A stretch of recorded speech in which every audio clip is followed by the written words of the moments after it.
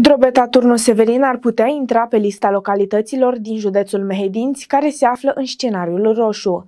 În ultimele 24 de ore, rata de infectare în municipiu a ajuns la 2,97.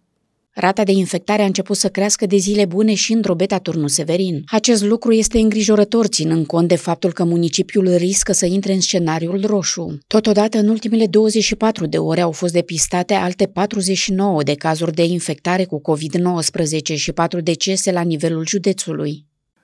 Analizând evoluția cazurilor de infectări cu coronavirus din ultima săptămână, cel mai probabil, municipiul Drobeta Turnu Severin va intra săptămâna viitoare, probabil în ședința extraordinară a Comitetului Județean pentru Situații de Urgență de luni sau cel târziu de marți, în scenariul roșu, întrucât rata de infectare se apropie de 3 la mii de locuitori.